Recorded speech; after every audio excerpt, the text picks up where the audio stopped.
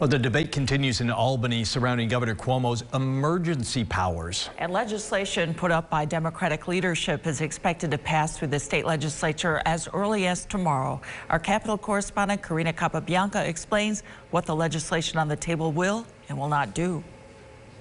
The legislation would block the governor from issuing any new directives. However, it would allow him to extend or to modify existing orders, provided that he gives notice to the legislature and they have time to review it. We are still in the thick of a pandemic but the emergency part is over. Under the proposal, the governor has the ability to make modifications and extensions to current directives every 30 days, and those changes need to be sent to committee chairs and the leadership of the chambers at least five days ahead of time with an explanation and the chance for them to give feedback. Meanwhile, Republicans and some Democrats have pushed for a total revocation of the governor's powers. Republican Assemblyman Rob Smullen says the legislature should take all of the directives and zero them out. And then, with the legislature in session, go line by line, directive by directive, and vote and explain to all of our people why their freedoms, why their liberties have been taken for the last year,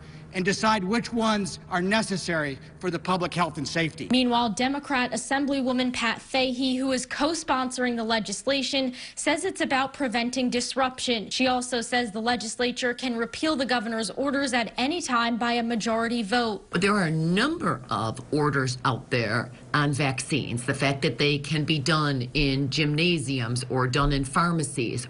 Those are things that have not been legislated. If we rescinded every order, when we take up this bill tomorrow, we could potentially disrupt vaccines. That is the last thing anybody wants to do. The proposal has no specific end date, but it allows the legislature to terminate the state of emergency at any time. In Albany, Karina Capabianca.